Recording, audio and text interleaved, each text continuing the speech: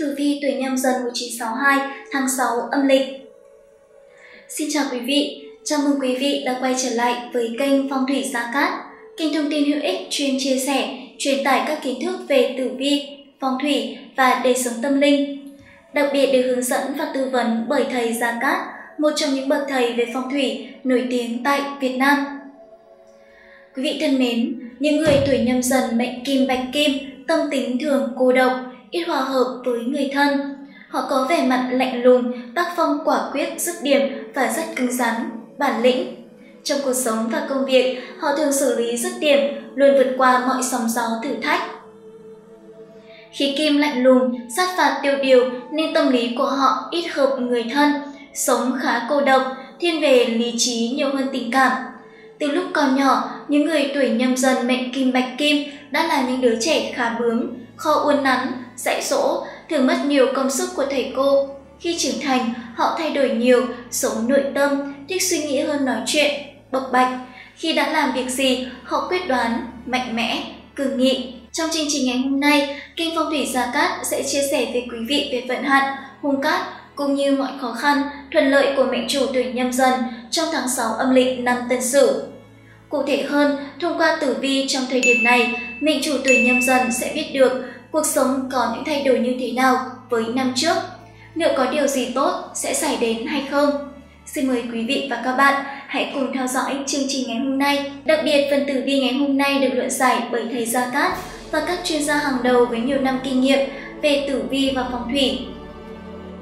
Trước khi nghe kênh Phong thủy Gia Cát chia sẻ tiếp thông tin, quý vị đừng quên bấm like, đăng ký kênh, nhấn vào tín hiệu chuông để có thể nhận được những thông báo mới nhất của kênh và có thể biết thêm nhiều thông tin hữu ích.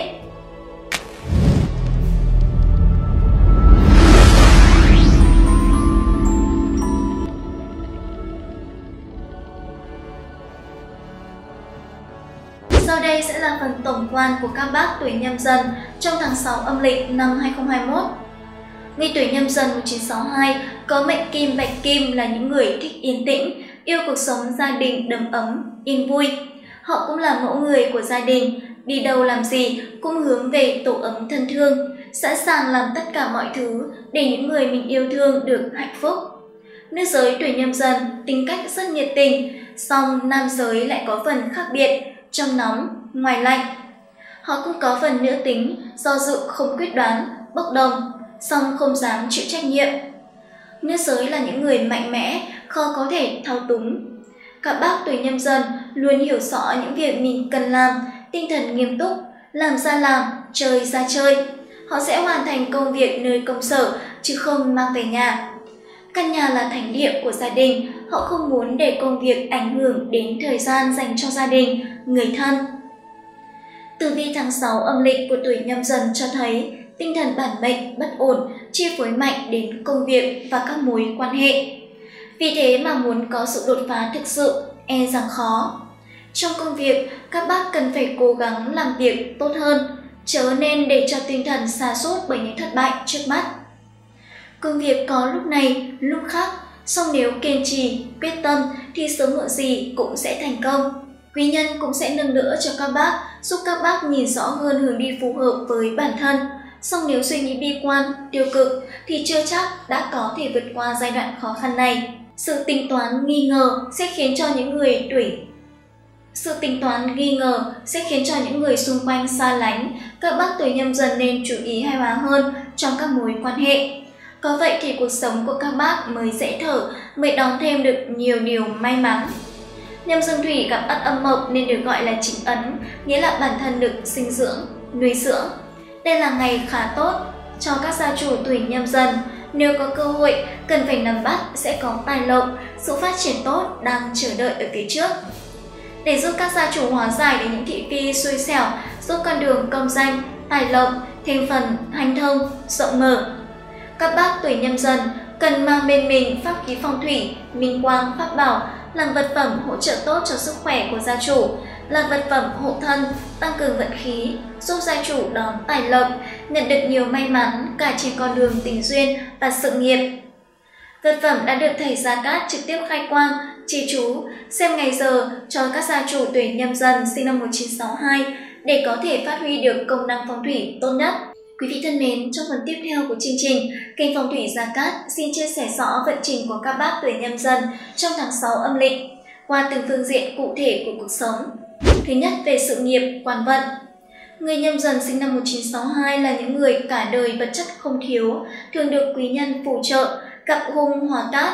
Đối với hầu hết những người quay, đối với hầu hết những người nhâm dần, may mắn cho sự nghiệp có thể lững lờ đi ngang. Nếu các bác là một nhâm dần tự làm chủ, may mắn trong sự nghiệp của các bác còn có thể tồi tệ hơn. Tháng này, môi trường thị trường không được tốt và công ty của các bác có thể sẽ có một loạt vấn đề cần giải quyết kịp thời. Nếu các bác đang điều hành một doanh nghiệp hợp tác với những người khác, các bác nên cẩn thận để ngăn chặn bên kia chạy trốn và tự mình kiểm tra các tài khoản.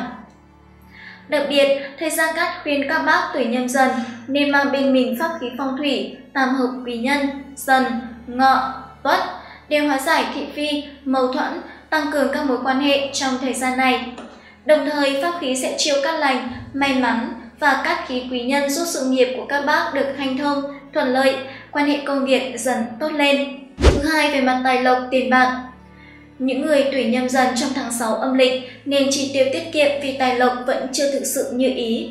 Có nhiều chuyện xảy ra, công việc kém suôn sẻ, bản mệnh sẽ gặp nhiều khó khăn trong mong muốn nâng cao thu nhập của mình. Ngoài thu nhập giảm mạnh, các bác tuổi nhâm dần cũng cần phải chi tiêu cho rất nhiều thứ trong tháng này. Các bác nên quản lý các vấn đề tiền bạc đúng cách và không đầu tư tất cả tiền của vào một dự án duy nhất mà phân tán để giảm thiểu rủi ro. Khi các bác đi ra ngoài, đừng mang theo nhiều vật có giá trị bên mình, hoặc các bác có thể bị những kẻ ngoài vòng pháp luật bám đuôi. Để tiếp tục cải thiện vận may trong sự nghiệp vào năm 2021, thầy Gia Cát khuyên các bác hãy mang theo vòng tam hợp quý nhân, dần, ngọ, tuất, hóa giải xung sát, chiêu mời quý nhân, quý thần tương trợ. Dùng để hóa giải thị phi, tiểu nhân, hãm hại. Khi những điều xấu không còn, tốt đẹp sẽ đến với bản mệnh, từ đó tài lộc kéo đến ầm ầm, may mắn không gì bằng. Đặc biệt vòng tam hợp quý nhân còn được thầy Gia Cát trực tiếp khai quang, chỉ chú, xem ngày giờ sử dụng cho các bác tuổi nhâm dần để vật phẩm mang lại công năng phóng thủy tốt nhất. Thứ ba về mặt tình cảm, gia đạo. Đường tình duyên tháng 6 âm của mệnh chủ tuổi nhâm dần chẳng được như ý, mọi chuyện diễn biến theo chiều hướng không thể suy đoán được, một đống hỗn độn đang chờ đợi các bác Bản mệnh cảm thấy bất an, có thể sinh lòng nghi ngờ trước những biểu hiện bất thường của đối phương. Cũng chính vì thế mà giữa hai người nổ ra không ít cuộc tranh cãi. Đối phương chán nản và mệt mỏi khi hết lần này tới lần khác phải giải thích, chứng minh tình cảm của mình, khiến cho tình yêu cũng theo đó mà phai nhạt. Tuy nhiên dù có chuyện gì xảy ra cũng nên nhớ, người ấy sẽ là hậu phương vững chắc, luôn chờ đón các bác mỗi ngày. Bản mệnh thực sự rất mong đợi người chấp nhận ở bên mình khi khó khăn, càng dồn hết tình cảm cho đối phương. Mối quan hệ vì thế mà nâng cấp nhanh chóng. Đặc biệt, thầy Gia Cát khuyến các bác tuổi nhâm dần hãy mang theo bên mình vật phẩm phong thủy, vòng gỗ huyết long tam hợp quý nhân, dần, ngọ, tuất với năng lượng tam hợp khí sẽ giúp các bác đả thông năng lượng ngưng tụ, thiên, địa, nhân, hóa giải và tăng cường các mối quan hệ xung quanh các bác. Đồng thời, vật phẩm còn mang lại sức khỏe, bình an và trường thọ cho các bác. Thứ tư, về mặt sức khỏe. Tháng này tình hình sức khỏe của các bác tuổi nhâm dần sinh năm 1962 có thể hơi xấu. Một khi các bác bất cẩn có thể phải chịu hậu quả nghiêm trọng. Dù lái xe hay đi xe, các bác nên thắt dây an toàn để tránh mọi nguy hiểm. Nếu có kế hoạch đi du lịch, đừng đi du lịch một mình. Nếu các bác mắc một căn bệnh cũ, hãy tránh một số thực phẩm nhất định và không ăn ngẫu nhiên, nếu không sẽ gây hại cho cơ thể. Các bác cần chăm sóc cơ thể tốt, giữ chế độ ăn uống hợp lý, nhẹ nhàng, chăm chỉ luyện tập các bài tập vận động, thể thao theo độ tuổi. Các bác nên thường xuyên đi chùa để giữ được tâm thế thanh tịnh, thoải mái. Các bác tuổi nhâm dần 1962 hãy luôn mang bên mình pháp khí phong thủy, minh quang, pháp bảo.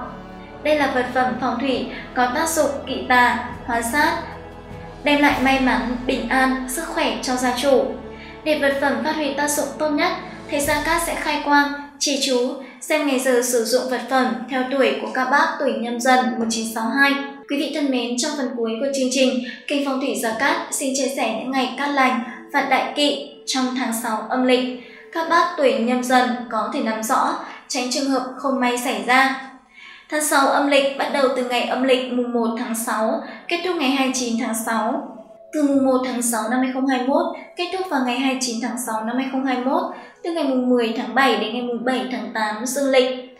Tháng Ất Mùi nạp âm sa trung kim, tháng Mùi lục hợp ngọ, tam hợp mão, hợi thành mộc cục, xung sửu, hình sửu, hại tý và tuất, được sửu. Đối với người tuổi nhâm dần trong tháng 6 âm lịch, sẽ cần tránh các ngày Thứ nhất ngày âm lịch mùng 2 tháng 6, tức ngày 11 tháng 7 dương lịch, nạp giáp canh thân. Thứ hai là ngày âm lịch 14 tháng 6, tức ngày 23 tháng 7 dương lịch, có nạp giáp là nhâm thân. Thứ ba âm lịch 26 tháng 6, tức ngày mùng 4 tháng 8 dương lịch, nạp giáp, giáp thân. Đây là 3 ngày không được cắt lành khi tính theo tuổi của mệnh chủ nhâm dần. Trong những ngày này, mệnh chủ cần hết sức chú ý, tốt nhất không nên thực hiện những công việc quan trọng Lời khuyên từ những chuyên gia phong thủy cho bản mệnh nên chú ý tới sức khỏe nhiều hơn, chi tiêu tiền của và những việc cần thiết, không nên vung tay quá chán. Đồng thời, để công việc thành công, may mắn, kích công danh, tài lộc, tình duyên, các gia chủ nên sử dụng vật phẩm phong thủy, minh quang, pháp bảo. Đồng thời nếu mang vật phẩm bên mình sẽ hỗ trợ tốt cho sức khỏe của gia chủ, tăng cường vận khí, giúp gia chủ đón tài lộc, nhận được nhiều may mắn cả trên con đường tình duyên và sự nghiệp. Ngoài ra trong tháng còn có một số ngày cát lành để các bác tuổi nhâm dần tiến hành các công việc liên quan đến xuất hành hay tiến hành những công việc quan trọng hoặc có thể tiến hành những vấn đề nhỏ trong gia đình đều hết sức thuận lợi.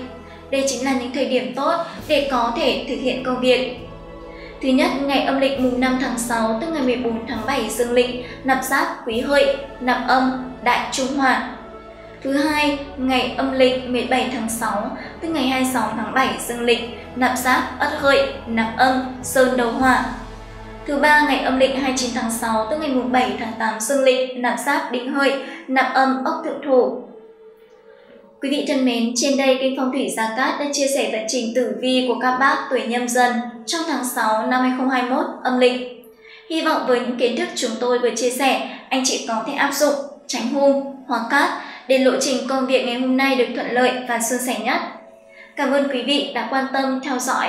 Ngoài việc chọn lựa ngày tốt phù hợp với tuổi của gia chủ trong những công việc trọng đại, thì để chọn được ngày giờ đẹp ngủ long tương chủ, ngày giờ tài lộc của gia chủ, hoặc các vấn đề như những dự định công việc, tử vi 12 con giáp, tử vi của bản thân, xin mời quý vị và các bạn hãy để lại thông tin dưới phần bình luận theo mẫu họ tên, ngày tháng năm sinh, số điện thoại hoặc có thể liên hệ trực tiếp tới số hotline đang được hiển thị trên màn hình để được tư vấn hoàn toàn miễn phí.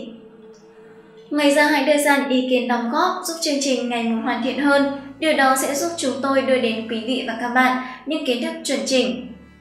Đừng quên đăng ký kênh để cập nhật những kiến thức mới nhất về tử vi, phong thủy và đời sống tâm linh. Đặc biệt, được thúc đẩy mới nhất về tử vi phong thủy ứng dụng vào cuộc sống hàng ngày.